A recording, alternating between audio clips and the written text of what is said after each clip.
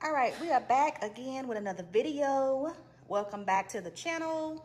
I am your girl, Christina Lynne, and we are back once again. And today we're gonna make a small gumbo. And here are the ingredients here. I have chicken thighs, kielbasa sausages, and some Argentine red shrimp. And here are all the spices that we're gonna use. I have paprika, pepper, onion powder, I have Knorr chicken base gumbo filet. I have Cavender's Greek seasoning, garlic powder, and bell pepper. I'm not gonna put onions in there because I prefer to just use the onion powder in it. It works a little bit better for me. And we also have some Success ball in a rice. Did I say ball in a rice? Ball in a bag, white rice. I'm not the best rice cooker. I'm gonna do either do the ball in the bag or I'll do a rice cooker. Y'all let me know. I can never get the consistency proper. I can never get the right consistency for some reason with rice. And I have tried. I've heard two cups of water, one cup of rice. My sister taught me that. And then I have also heard three cups of water, two cups of rice. Either way, it comes out gummy. So let's just boil it in a bag and call it a day, honey. Okay, so let's get started. We'll go ahead and cook. We're gonna cook the chicken first. I'm gonna start balling that and I have chicken thighs. So you can, another way that you can do this, you can do the rotisserie chicken that's already cooked. It cuts out a lot of the time of having to ball the chicken, but today we're gonna ball it. But yeah, let's get started, y'all. Okay, y'all, so the first thing we're gonna start off with is our water. I'm gonna pour this water so that we can start cooking the chicken. So this is the first step. A little bit of water. And I like to bring that to a boil first before we start adding our chicken.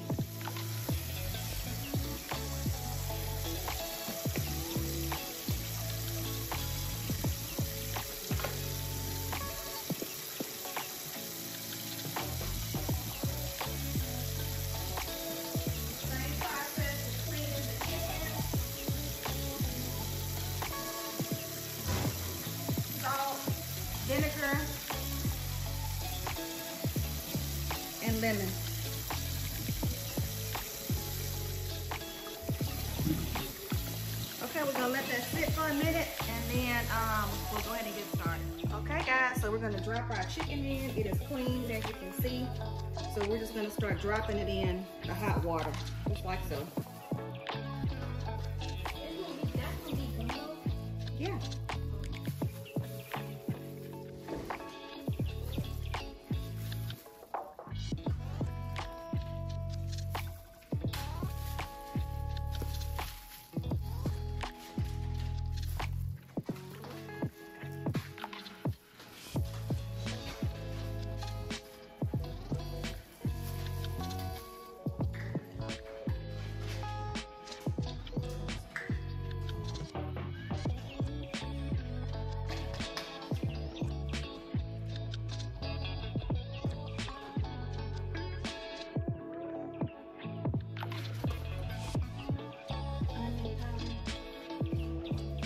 Remember I was telling y'all I prefer to just do onion powder instead of cutting up actual onions.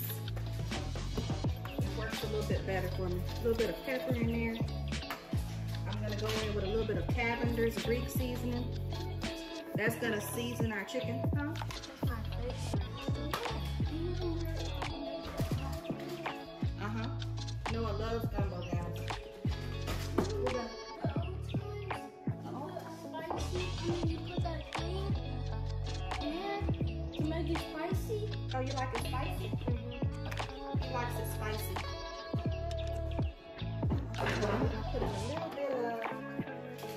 Knorr chicken base. And this is what's gonna season our chicken. Not too much, guys, because I'm also gonna go in with a little bit of the brown gravy as well. So not too much, just a little bit. And then, like I said, I'm gonna let that cook probably about an hour or so, maybe an hour and a half. then we're going to come in and put the rest of our ingredients in there. I'm going to chop up the bell pepper. We're going to put that in. And we're going to let it cook. We're going to chop up the bell pepper real quick. And put that in the pot. And we're going to let that cook for a little bit. And then I'm going to show y'all, as a matter of fact, you can probably see it. Here is the new cutting board that I got. If y'all had a chance to watch the last video, this one came in a three pack. This is the smallest one. It has the stoppers at the bottom of it so it does not move once you place it on the counter, which makes it so much easier for cutting. That one I had from Ikea, which I love, but it just moves a lot. So you got three different sizes. And I found that one at Ross actually. This is the second size up here. And then this one is the third size up. This is the biggest one. But I like the little one because it's little and cute. This is the biggest one here.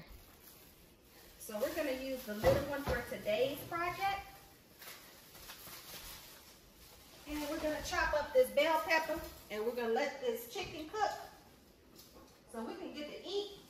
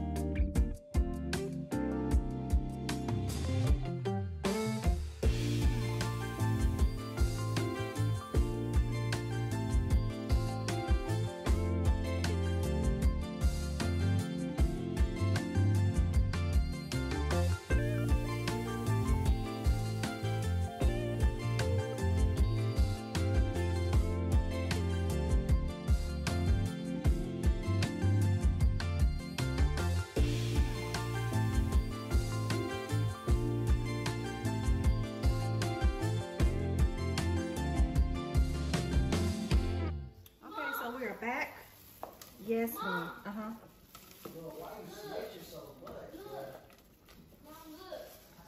Okay.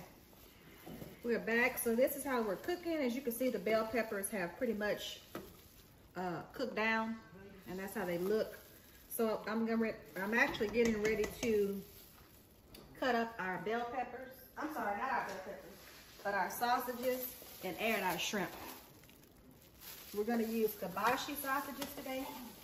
And I'm not really sure how many I'll use, maybe half of this pack. I found this pack at Sam's. It's one of the larger packs. It's two pounds. So you get a lot of sausages in here. I know HEB carries a smaller pack.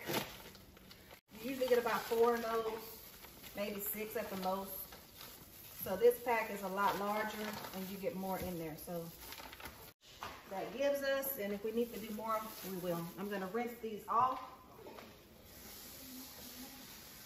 and get them chopped up.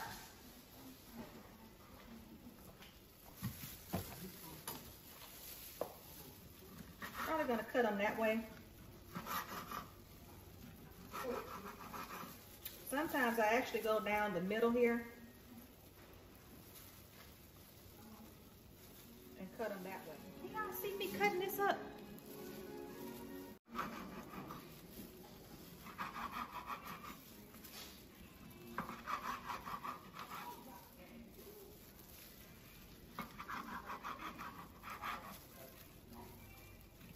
I think I'm gonna probably add at least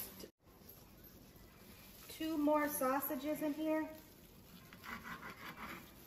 Maybe three.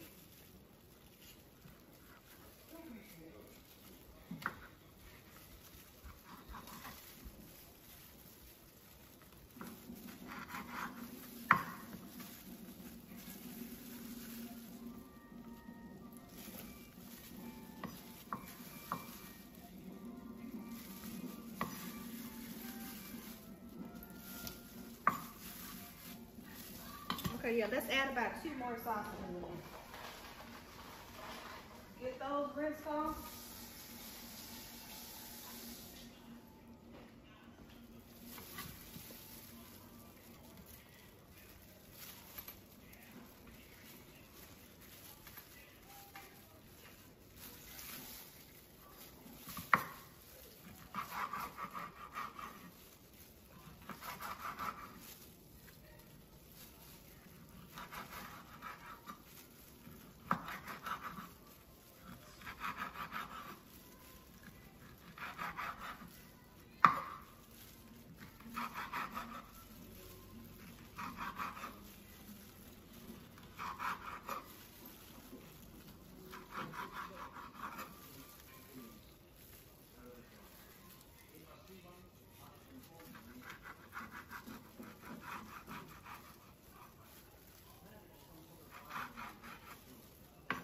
Let's see, it is 5.23, so these chicken thighs have been cooking for at least an hour altogether.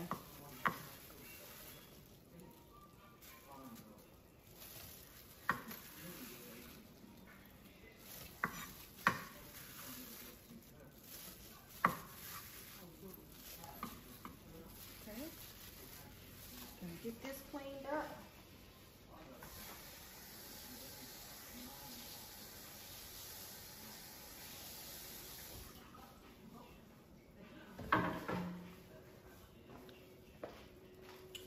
And now we're gonna add our Argentine red shrimp.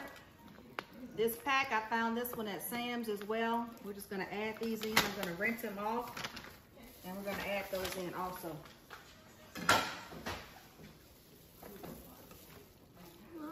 Huh? I'm probably gonna have to add a little bit more water in here as well.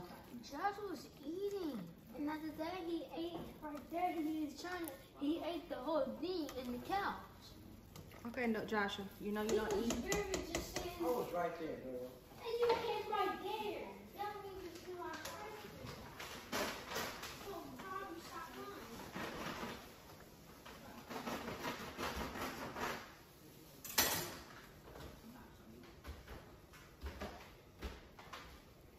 Okay, I'm gonna rinse these off. Where is my strainer? It is down here. Let's get that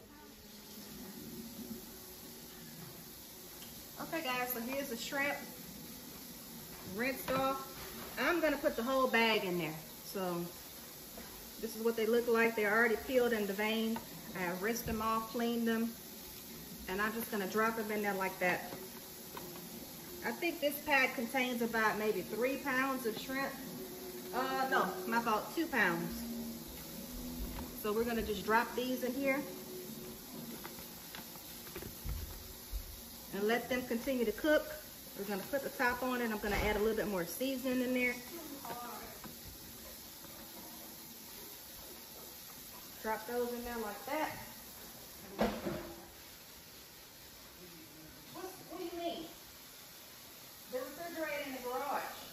Bring me a Sprite. You can't get to it? Alright. Okay. Alright, at this point we're gonna add our gravy in. So I have two packs of this. I'm gonna start off with one and mix it in. I don't put it directly in there. I usually mix it up in a bowl first or a cup and then start to mix it. We're probably gonna have to put a little bit more water in there. Get those shrimp down in there so they can cook. Get on down now. Get on down now.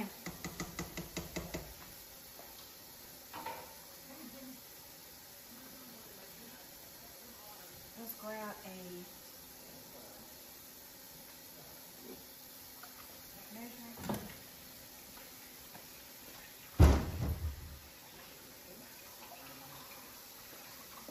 We're gonna cut our fire up just a little bit.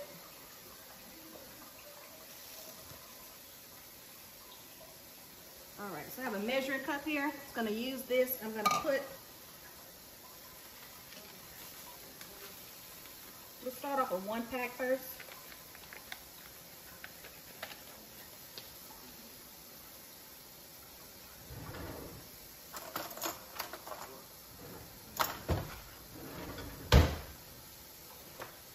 Add a little bit of water.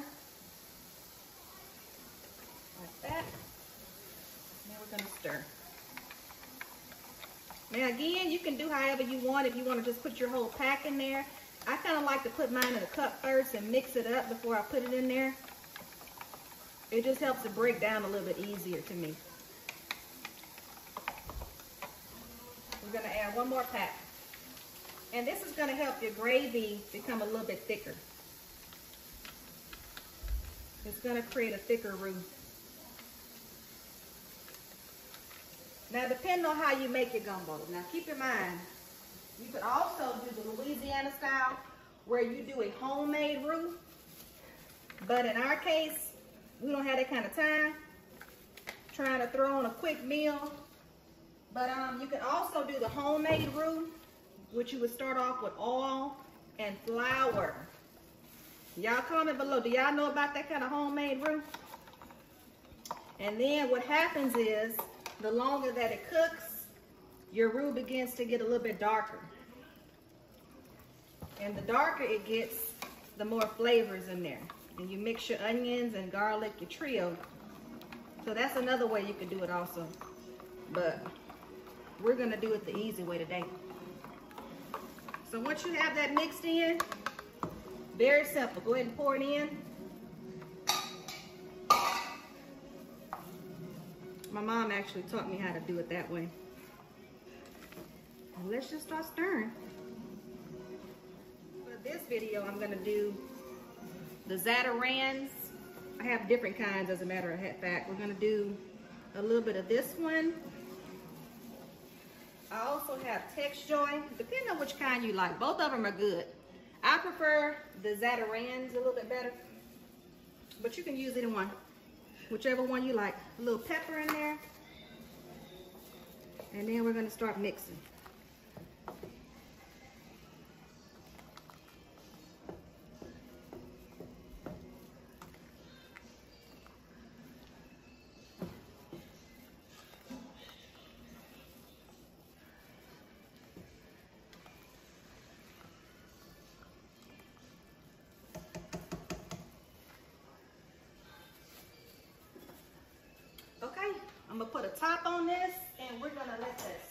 Little bit, let it cook down some, and then I'm gonna put the rice on.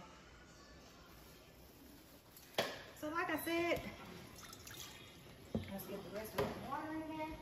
If you don't know how to make rice, it's all good. One day I'm gonna get the rice. I just don't know when. But one day I'm gonna get it. So until then, we have success rice, ball in a bag.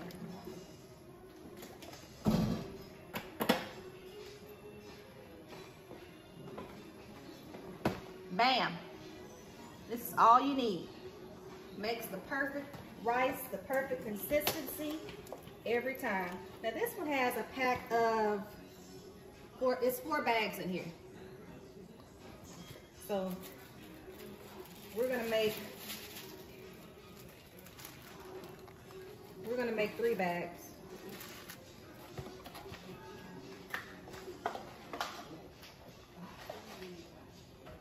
Depending on your family, if y'all are real big rice eaters, you can put more.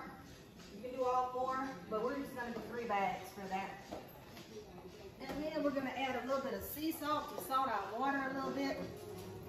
We have our private selection sea salt. You can find this at Kroger. Little bit of that in there. Just to give it a little bit of flavor. Let that cook down for about 15 minutes.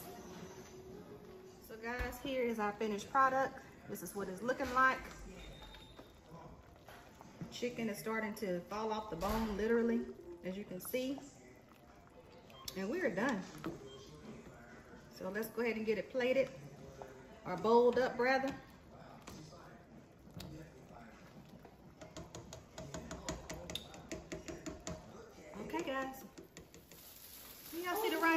The ball in the bag rice. Let's go ahead and start making the bowl.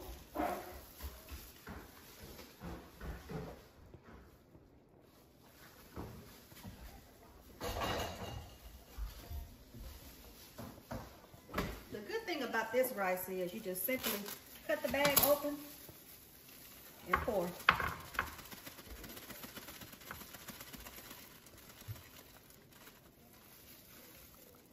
Very simple.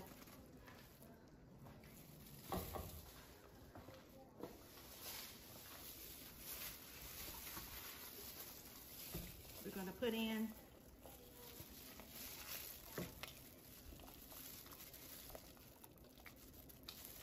a lot of sausages in there.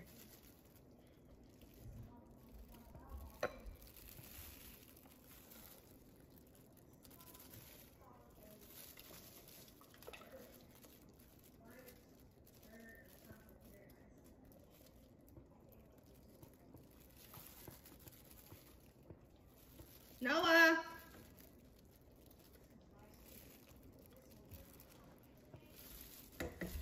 And there you had it, guys.